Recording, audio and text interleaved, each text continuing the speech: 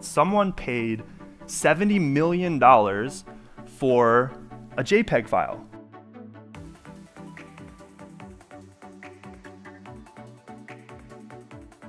So NFTs have become this sort of like breakout use case of, of blockchain technology this year. Um, I, I tracked down the URL where you can go, and this is still up, this is available, we can all go today.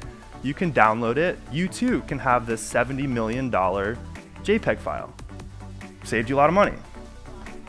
But of course, that's not why, or that's not what people spent $70 million for. And this is the important distinction when you hear the word NFT. So what the person that spent $70 million was paying for was this.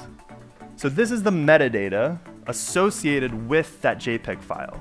This is what gets uh, created as a token on the Ethereum blockchain, and this is you could think of as essentially the receipt that that sort of describes the file itself. So you know anyone can go and download the file, but this is actually what gives someone ownership or the token associated with that file.